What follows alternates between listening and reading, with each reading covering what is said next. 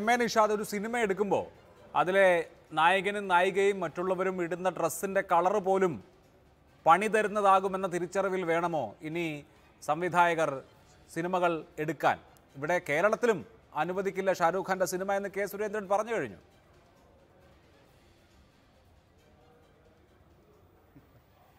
ഇതിനൊക്കെ എന്ത് പറയാനാണ് അഭിലാഷ്?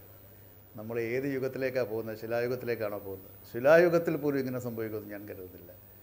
ഒരു സിനിമയുടെ ഒരു ഒരു സിനിമയിൽ ഒരു കഥാപാത്രം ഏതെങ്കിലും ഒരു നിറം ധരിച്ചാൽ പൊട്ടി ഒലിക്കുന്നതാണോ ഇവിടുത്തെ മതം?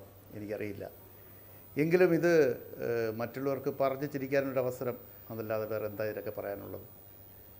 ആ സിനിമയുടെ ഗാനരംഗത്തിന് സെൻസർ ബോർഡ് അനുമതി നൽകിയതാണ്.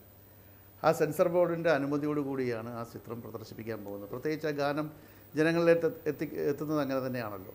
സ്വാഭാവികമായിട്ടും ആ ഗാനരംഗത്ത് ദീപിക പതുക്കോൺ അണിഞ്ഞ ഒരു ബിക്കിനിയുടെ നിറം ഒരു പ്രത്യേകതരം നിറമാണ് എന്നാണ് വാദിക്കുന്നവർ പറയുന്നത്. പക്ഷേ യഥാർത്ഥത്തിൽ അവർ ഒരുപാട് നിറങ്ങൾ ആ പാട്ടിൽ ഉപയോഗിക്കുന്നുണ്ട്. അല്ല അവർ ഒരുപാട് നിറങ്ങൾ ആ പാട്ടിൽ ഉപയോഗിക്കുന്നുണ്ടെന്ന് മാത്രമല്ല ഈ പറഞ്ഞ നിറത്തിലുള്ള ഇതേ തരത്തിലുള്ള വസ്ത്രങ്ങൾ ധരിച്ച് ദീപിക മുമ്പും അഭിനയിച്ചിട്ടുണ്ട് മറ്റ് നടിമാർ അഭിനയിച്ചിട്ടുണ്ട് നടന്മാർ അഭിനയിച്ചിട്ടുണ്ട്. അപ്പോ വസ്ത്രത്തിന്റെ നിറം എന്നൊക്കെ പറയുന്നത് മാത്രമായിരിക്കില്ലല്ലോ? അതെ തീർച്ചയായിട്ടും തീർച്ച അല്ല തീർച്ചയായിട്ടും അതിനൊരു വ്യക്തമായ അജണ്ടയുണ്ട്. ആ അജണ്ട വളരെ ബയാസ്ഡാണ് അത് യാതൊരു സംശയമില്ല നമ്മൾ കുറേ നാളായിട്ട് ചർച്ച ചെയ്യുന്നില്ല എത്രയോ കുറേ വർഷങ്ങളായിട്ട് ഇത് ഇന്ത്യയിൽ നടമാടിക്കൊണ്ടിരിക്കുന്നു. ഓരോ ദിവസവും ഓരോ പ്രശ്നങ്ങൾ വന്നുകൊണ്ടിരിക്കുകയാണ്. ചൈന അതിർത്തിയിൽ നിന്ന് അവിടുത്തെ പട്ടാളം ഇങ്ങോട്ട് നുഴഞ്ഞു കയറുന്നതിനെ പറ്റിയൊക്കെ ചർച്ച മാറ്റണമല്ലോ. അപ്പോൾ സ്വാഭാവികമായിട്ട് ഇന്ത്യയിൽ ഇന്ന് അഭിമുഖീകരിച്ചിരിക്കുന്ന പല വിഷയങ്ങളിൽ നിന്ന് ശ്രദ്ധ മാറ്റാൻ വേണ്ടി ഇതുപോലുള്ള കാര്യങ്ങൾ കാലാകാലങ്ങൾ എടുക്കുകയാണല്ലോ ഇപ്പോൾ അധികാരത്തിൽ നിൽക്കുന്നവർ ചെയ്യുന്നത്.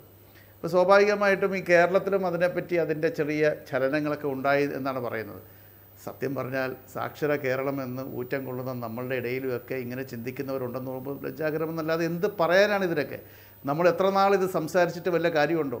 ഇപ്പോൾ താങ്കൾ സൂചിപ്പിച്ച പോലെ നിറം മാത്രമല്ലല്ലോ. പല കാര്യങ്ങളുണ്ടല്ലോ. ഇപ്പോൾ അക്ഷയകുമാർ അക്ഷയകുമാർ അഭിനയിച്ച ഒരു സിനിമയുടെ പാട്ട് സീൻ പലരും കണ്ടതാണ്. അത് ഇതുപോലെ ബെക്കിരി ഇട്ടുക മാത്രമല്ല അതിനകത്ത് ആ ആ സ്ത്രീകൾ ഉപയോഗിച്ചിരിക്കുന്ന കാവ്യ നിറത്തിനകത്ത് എന്താണ് എഴുതിയിരിക്കുന്നത് പോലും നമുക്ക് ആ ഫോട്ടോ വരെ നമ്മുടെ എന്റെ കയ്യിലുണ്ട്. അപ്പോൾ സ്വാഭാവികമായിട്ടും അപ്പോഴൊന്നും പൊട്ടി ഒലിക്കാത്ത ഈ മതപ്പാട് എന്തുകൊണ്ടാണ് ഇപ്പോൾ വരുന്നത് എന്നുള്ളത് വളരെ വ്യക്തമല്ലേ? കഴിഞ്ഞ നാല് വർഷത്തിന് ശേഷം ഷാറുഖ് ഖാൻ ഒരു സിനിമയിൽ അഭിനയിക്കുകയാണ്. ഷാറുഖ് ഖാനും പതു ജീവിയ പതുക്കോണും അഭിനയിക്കുന്ന പട്ടാൻ എന്ന സിനിമ ഇപ്പോൾ തന്നെ ചർച്ചാ വിഷയമായിക്കൊണ്ടിരിക്കുന്നു. അപ്പോൾ അതിന്റെ ഇടയ്ക്ക് ദീപിക ധരിച്ചിരിക്കുന്ന ഒരു വസ്ത്രത്തിന്റെ പേരിൽ ഷാറുഖ് ഖാന്റെ കോലം കത്തിക്കുന്നു. അതിന്റെ ഇടയ്ക്ക് ജെ എൻ യുവിൽ പോയി ദീപിക ഐക്യദാർഢ്യം പ്രഖ്യാപിച്ചതിന്റെ കാര്യങ്ങൾ ഒരു മധ്യപ്രദേശിലെ ഒരു നേതാവ് പറയുന്നു. അപ്പോൾ എന്താണിത്? ഇത് വളരെ വ്യക്തമായിട്ട് നമുക്ക് മനസ്സിലായിക്കൂടെ. ഇതിന്റെ അജണ്ട എന്താണ്? എങ്ങോട്ടാണ് ഇത്? പോകുന്നത്, എങ്ങോട്ടാണ് പോകുന്നത് തുടങ്ങിയ സംശയങ്ങൾ മാത്രമല്ല.